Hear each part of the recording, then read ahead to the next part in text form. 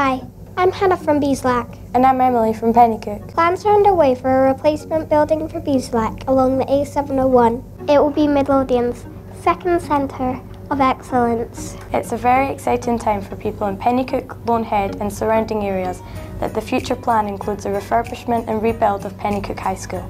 We want to make sure that we get buildings that are innovative and inspiring. With facilities that will help equip pupils for the 21st century workplace. And embrace the needs of local people. We will look at the other new high school in Midlothian and build on experience from this school. Let's go find out how pupils at Newbattle are getting on. Tell us a bit more about what it's like coming here and compare it to your old school.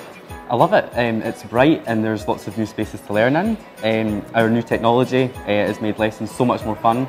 So for example, we've started doing virtual reality in our science lessons.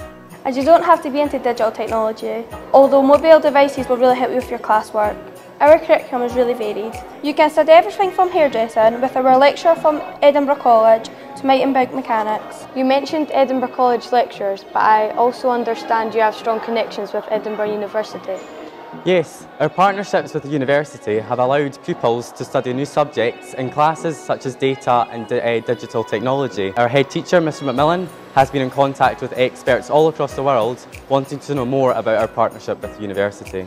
Yes, that's right. We've got a number of partnerships with university, um, including Edinburgh University, Edinburgh College and lots of businesses. We've only been open a year and already we're attracting international interest. Um, to that extent, we have visited America, China and Denmark um, with a broad range of partners wanting to know more about um, our facilities and what happens within our facilities, particularly about our partnership working, how we are demonstrating closing the poverty related attainment gap and any other pioneering projects which is part of our curriculum. The school have won a number of awards here since being open, including Education Scotland's Creativity and Innovation Award and the Building Scotland Award in 2019 for Technology, Learning and Teaching and we're also shortlisted this year again for the Education Building Scotland Award. It sounds as though the school has made a real impact in a short period of time.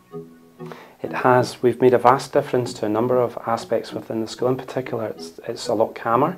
Um, our attendance has increased significantly year compared to um, year, year on year, and the attainment within certain aspects has really made a difference. So the culture is really positive, and um, people are, are, are feeling it. We're very excited to have another centre of excellence um, in Penicuik with regards to Midlothian. It's been truly positive for us, so having another um, centre of excellence, particularly a STEM centre, sounds really exciting and innovative. Um, ultimately, we all have the same vision, which is to close the poverty attainment gap, raise aspiration and attainment, equip pupils for the skills that, that's required in the future, and for everyone to enjoy their education in a community centre. Everyone sounds really positive about being here. Did you and the wider community get much of a say on how this building was designed? Yes, we were really involved in the consultations. This makes us feel a part of something really special and groundbreaking. So if given the go-ahead, what looks like a wasteland now will soon be a brand new centre of excellence specialising in the STEM subjects and it will be used by pupils across Midlothian and beyond. The campus will sit within a new STEM corridor creating jobs and boosting the local economy. By getting involved and taking part in consultations, we could have a new school and centre of excellence. The new centre and fully upgraded Penicuik High School will give us a better future and do the same for our children in years to come.